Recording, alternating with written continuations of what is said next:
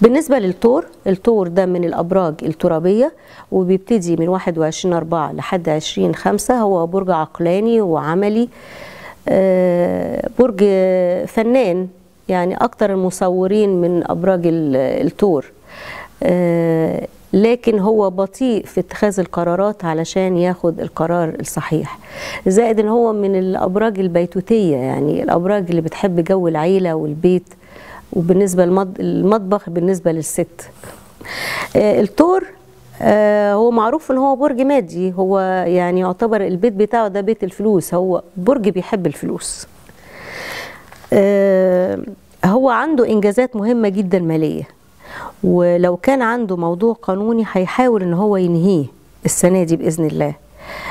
هيكون عنده حظوظ في السفر كبيرة. عاطفيا بالنسبة للمرتبطين ممكن يحسوا بنوع من الجفاء أو بنوع من البرود العاطفي لكن العازبين هتبقى بشرى سارة ليهم عندهم ارتباطات وعندهم حظوظ وعندهم آه، أوقات حلوة قوي. يعني في رومانسية عندهم في الطريق.